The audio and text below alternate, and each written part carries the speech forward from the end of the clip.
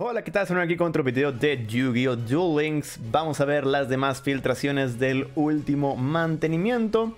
Empezando por lo que es Bakura, el evento de Bakura. Ya sabemos que tiene varias partes. También sabemos que luego va a salir un Super Bakura.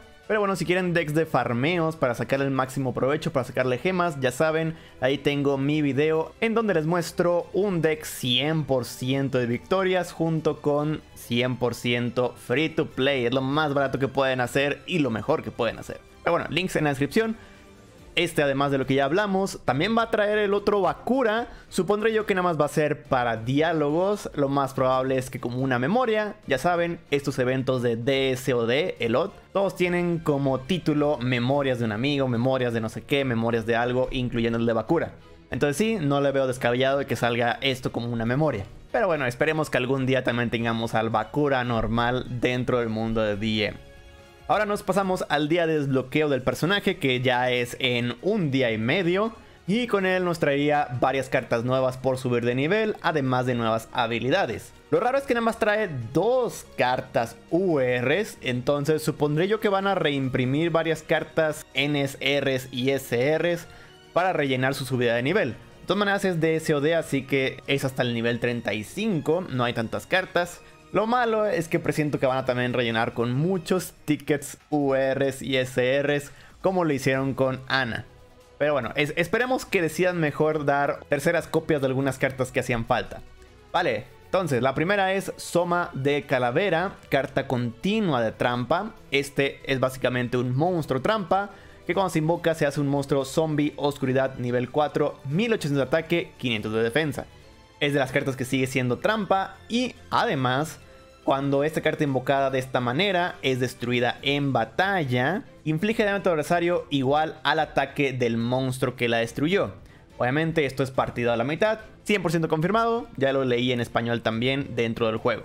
Entonces no es la gran cosa, siento que sí pueden dar las tres copias. Y la otra UR, que la verdad no creo que den las tres copias, presiento que solamente van a dar una sola copia, Arte del Invocador. Añade a tu mano un monstruo normal de nivel 5 o mayor en tu deck. Es una carta que busca y cualquier carta. Lo único malo es que es monstruo normal, eso quiere decir un monstruo vanilla. Pero aún así es una muy muy buena carta. Por eso es que presiento que nada más van a dar una sola copia. Y seguramente va a ser la última carta por su día de nivel. Nos pasamos a las habilidades. Una disculpa porque voy a usar la página de Duel Meta tal cual. Una disculpa por la calidad, pero es para hacerlo un poquito más rápido. Ojo, recuerden como siempre, se van a conservar una habilidad. Seguramente va a ser para el siguiente evento. Pero bueno, primera habilidad, White Magician Shining Shield. De hecho hay algunas habilidades que ya están confirmadas debido al mismo evento, que no lo dice. Pero bueno, esta puede ser usado eh, si controlamos un monstruo lanzador de conjuros. Tira un dado dos veces monstruos que tu oponente controle con un nivel igual o mayor que la suma del resultado no pueda atacar el próximo turno del oponente.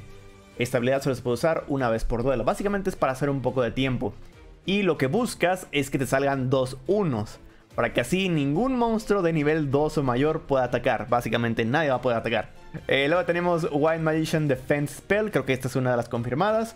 Puede ser usado si controlas un monstruo lanzador de conjuros también tira un dado dos veces y aplica el efecto apropiado dependiendo del resultado. Es un 2, eso quiere decir 1 y 1. Baja la defensa de todos los monstruos del oponente en 1000. Si es entre 3 y 7, baja la defensa de todos los monstruos del oponente en 700. Si es entre 8 y 11, en 500.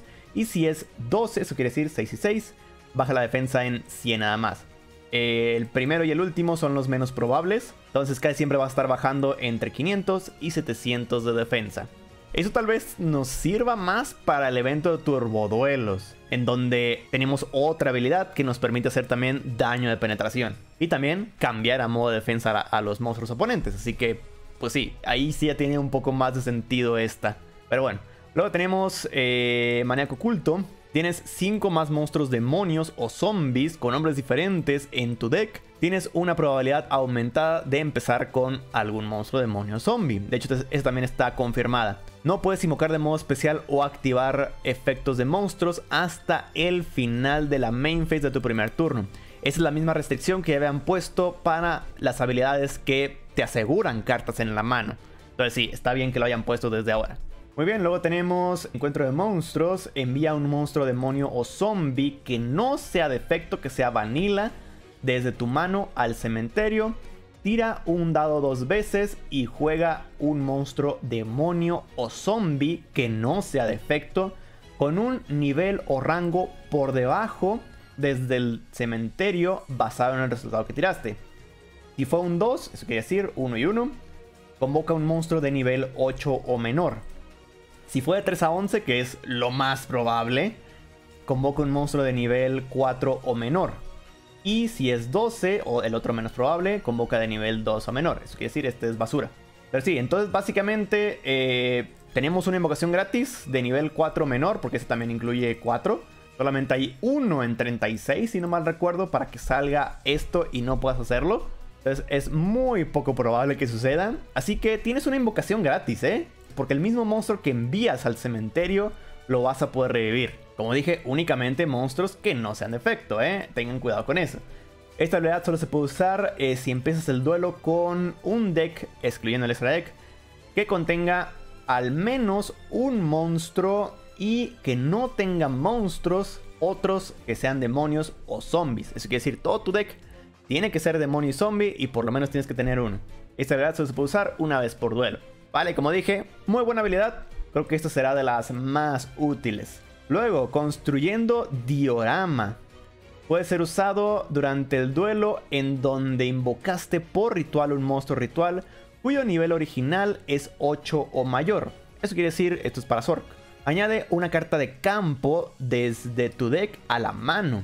Luego, Regresa una carta de tu mano al fondo del deck. Ok, no está nada mal. Esta habilidad solamente puede ser usado si empiezas el duelo con un deck que contenga por lo menos 4 monstruos ritual y 4 cartas de magia ritual. Eso quiere decir, si tu deck tiene puros monstruos rituales, como por ejemplo los megaliths, que ellos mismos pueden hacer sus rituales sin la ansiedad de cartas mágicas, no vas a poder usar esta habilidad. Pero bueno, esta habilidad solo se puede usar una vez por duelo. Lo bueno es que sirve para todos los decks rituales, siempre y cuando tengan alguna buena carta de campo. No sé qué deck ritual actualmente tenga una buena carta de campo como para decir sí, está muy buena para este. Pero bueno, díganme en los comentarios. Luego tenemos habilidades que no son para Bakura, así que las vamos a ver al final del video. Luego, el día 31 de marzo por la mañana tendremos la nueva mini caja. Ya hablamos de todas las cartas, así que si quieren ver mi opinión de ellas, links del video en la descripción. Luego el mismo día 31, pero por la tarde tenemos el reinicio del PvP, una nueva temporada de PvP. Y ahora ya nada más nos dan una sola carta nueva del PvP. Ya casi siempre es una carta SR, así que la única carta SR que nos sobró es el sello de Oricalcos. Carta de campo, carta que muchos fanáticos del primer anime van a querer. Todos los monstruos y controlas ganan 500 de ataque. Una vez por turno, esta carta no puede ser destruida por efectos de cartas Mientras controles dos o más monstruos en posición de ataque boca arriba, tu adversario no puede seleccionar para un ataque a tú o tus monstruos con el ataque más bajo. Eso quiere decir, nada más va a poder atacar al monstruo más poderoso que tengas. Si esta carta es activada, destruye todos los monstruos y controles que hayan sido invocados de manera especial. Este es lo negativo. No puedes invocar monstruos de modo especial desde tu extra deck. Ese es el otro efecto negativo. Se vuelve nada más un deck beatdown tu deck debido a esta carta. Bueno, igual puedes invocar de manera especial desde la mano. Igual puedes hacer invocaciones péndulos, recuerda. Y solamente puedes activar el sello de Oricalcos una vez por duelo. Una vez que te quitan el primer sello, ya, se acabó. Ya no tienes más sellos de Oricalcos.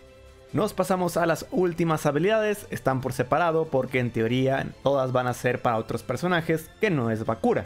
Al igual que con otras cajas, han salido algunas habilidades, entonces tres de estas van exactamente con lo que es la nueva caja. Así que inferiremos que van a estar disponibles a partir del día en el que salga la caja.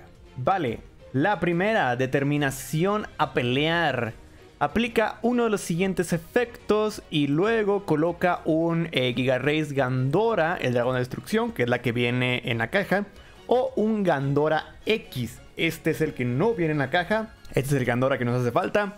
Si quieren ver lo que hacen, ahí está en pantalla. Me hace raro que no lo hayan puesto porque, pues de todas maneras, lo que hace es daño de efecto. Entonces seguramente lo van a partir a la mitad. Entonces, pues debería de venir. Al menos que lo estén guardando como para regalarlo cuando haya un Super Yugi o algo así. Pero bueno, El primer efecto dice regresa una carta desde la mano al deck, luego añade un monstruo Gandora desde tu deck a tu mano. Puedes hacer una invocación normal de un monstruo Gandora además de tu invocación normal. Entonces, por ejemplo, el Gandora normal podrías invocar algo que, no sé, bueno, que sea doble sacrificio y luego sacrificarlo para invocar al Gandora común y corriente. El otro Gandora, el rey, creo que lo invocas desde la mano tirando dos al cementerio. Entonces no requieres hacer otra invocación. Vale, y la otra está totalmente diferente. Envía un monstruo gadget desde el campo al cementerio y juega un mago silencioso nivel 4 o un espadachín silencioso nivel 3 desde fuera del deck. Esta habilidad solamente puede ser usado si empiezas el duelo con un deck, excluyendo nuestra deck, que contenga por lo menos 10 monstruos gadget, mago silencioso o espadachín silencioso. Ojo, como de todas maneras te ponen desde fuera del deck estas cartas, pues no necesitas exactamente ellas. Puedes usar puramente los monstruos gadget y estos dejar que suban de nivel para que tengan más ataque. Esa habilidad se puede usar una vez por turno y hasta tres veces por duelo. Sinceramente no entiendo por qué esta requiere, digo, para qué esta va a querer tirar al Gandora al cementerio, pero bueno, igual para poderlo revivir después. Lo que sí es que la otra sí te ayuda para que tenga un poco de poder el, el Giga Race de Andorra, aparte de buscártelo. Muy bien, luego nos vamos a Spirit Grabs. Ojo, esta puede ser de Bakura, de DSOD cuando se desbloquee. Nada más que no la puse con él porque esta siento que va más con el Bakura de antes, ya que esta menciona más al Dark Necrofear. Y se fijan las anteriores habilidades, eran más de tiros de dados, sí, algunas mencionaban monstruos, zombies y demonios, pero era parte como del RPG, ¿no? Lo que le gusta a Bakura, los RPGs. Este es directamente Dark Necrofear, te ayuda muy bien a la invocación del nuevo Dark Necrofear, o sea, hace hasta la caja. Pero bueno, lo que hace es, cada uno de los siguientes efectos puede ser usado una sola vez por duelo. Envía un monstruo de nivel 8 de oscuridad desde la mano al cementerio, luego roba una carta muy buena, especialmente porque luego puedes activar la otra habilidad. Puede ser usado antes de tu robo normal, bueno, hasta tu robo normal más bien. Este, si tienes por lo menos tres monstruos en tu cementerio. En lugar de hacer tu robo normal, eh, añade un monstruo de nivel 5 o mayor a tu mano desde el cementerio. Eso quiere decir el mismo que enviaste el anterior turno. Luego selecciona hasta tres monstruos demonios en el cementerio y destiérralos. Eso quiere decir para que luego puedas invocar a tu Dark Necrofear, la evolución del Dark Necrofear que necesita monstruos desterrados. Ahora, lo único malo es que esa habilidad solo se puede usar si empiezas el duelo con un deck que contenga por lo menos un Dark Necrofear y ningún monstruo que no sea demonio o zombie. Y bueno, no dice entre comillas Dark Necrofear, igual luego le agregan las entre comillas y así ya podría ser cualquier monstruo Dark Necrofear. Pero como está escrito ahorita, parece que sí o sí tiene que ser el Dark Necrofear original. Pero bueno, como dije, lo más probable es que sea para el Bakura malo de DM estabilidad. Vale, siguiente habilidad, al decir Supernatural, es alguien con poderes supernaturales o, entre comillas, poderes supernaturales. Entonces tiene que ser de Sparroba, ya que también menciona Jinzo. Y la habilidad dice, envía un monstruo eh, del campo cuyo dueño original sea tu oponente o un monstruo en tu campo que especifique en su texto a Jinzo. Mándalo al cementerio. Ojo, puede ser cualquier monstruo que especifique a Jinzo en el texto. No tiene que ser tampoco en el nombre, no dice nombre, así que hay muchas cartas que cumplen este requisito. Y luego juega un Defien Mega Cyber. Es un monstruo que simplemente tiene 2200 ataques, 6 estrellas. No es la gran cosa, no tiene ningún efecto más que invocarse de manera especial. Pero bueno, ya va a estar en el campo. Desde fuera del deck, Después de esto, si tu oponente no controla ninguna carta de trampa, eso quiere decir, tiene que estar boca arriba cartas de trampa, puedes jugar un Cyber Rider a la zona de cartas de magia y trampa de tu oponente desde fuera del deck, como si fuera una carta de trampa. Ojo, este güey tampoco hace absolutamente nada, así que literalmente es un estorbo en su campo. Solamente puedes convocar eh, monstruos de máquina durante el turno en que activas esta habilidad. Esta habilidad se puede usar una vez por duelo. La verdad es que está muy bien, ¿eh? Si el deck de Jinzo cobra mucha fuerza gracias a la nueva caja que trae un montón de soporte, esta habilidad también le va a ayudar muchísimo por el hecho de que le estorba una carta al oponente y aparte te regalan un monstruo. Un monstruo que luego vas a poder hacer eh, Exit con él. Justamente el nuevo Exit Jinzo es un monstruo nivel 6, rango 6, por eso. Entonces va a ser una muy buena habilidad. Y la última habilidad, Success or Failure, Esta habilidad, es, si se fijan, está separada de todas y es porque es una habilidad del el Bakura del evento. Aquí está la imagen que sí va a ser del evento. Eh, no sabemos si es para que nosotros la usemos siendo Bakuras durante el evento, pues. O si es para que nos enfrentemos a Bakura. Pero bueno, ¿qué es lo que hace la habilidad? Puede ser usado si controlas un monstruo boca arriba al principio de la Battle Phase. Tira un dado de 10 dos veces y aplica uno de los efectos apropiados. Ojo, aquí el, el primer número es un dado y el segundo número es un dado. Por eso es que... Ah, y los dados van a ir de 0 a 9. Por eso es que el último es un 99. Es imposible que un 9 más 9 vayan a dar 99, ¿verdad? Vale, entonces si te sale 0-0, eh, tus monstruos ganan 1000 de ataque y de defensa hasta el final del turno y cualquier daño que fueras a infligir al oponente se duplica. Muy bueno. Eh, de 1 a 9, tus monstruos ganan 500. De 10 a 49 ganan 200. De 50 a 98 ganas 100 nada más. Y si te tienes la mala suerte de sacar 99, el ataque de todos tus monstruos se convierte en 0 hasta el final del turno. Entonces, ve. la verdad es que también está un poco raro cómo la escribieron. Pero bueno, como dije, es únicamente del evento, así que no hay ningún problema. Eh, listo, esas son todas las filtraciones que tenemos. Díganme qué opinan en los comentarios. Por mi parte, sea todo. Muchísimas gracias por haber visto el video. No olviden compartirlo con sus amigos. Y nos vemos en la próxima. Bye bye.